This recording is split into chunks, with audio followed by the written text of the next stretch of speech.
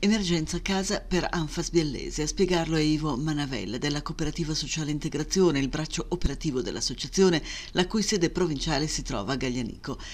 Presto avremo bisogno di altri spazi abitativi per le persone che frequentano il nostro centro diurno, asserisce Manavella. La questione è legata all'età avanzata di molti nostri ospiti, che ovviamente hanno a loro volta genitori molto anziani. Venendo meno la loro presenza, servirà a trovare nuove soluzioni per i ragazzi. Questo perché il futuro delle persone con disabilità sarà nell'autonomia anche abitativa. Si tratta di un obiettivo raggiungibile per molte persone che già oggi frequentano le varie attività del centro diurno, ma domani potrebbero mangiare, dormire, vivere insieme in un alloggio con un'adeguata attenzione di figure professionali.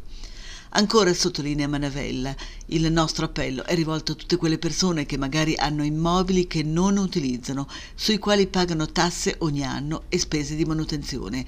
Con loro si potrebbe cercare un'idea che garantisca la proprietà, però consentendoci l'utilizzo per un certo numero di anni.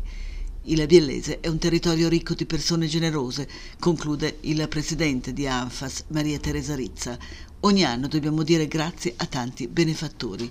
Sono sicura che anche questo appello non cadrà nel vuoto.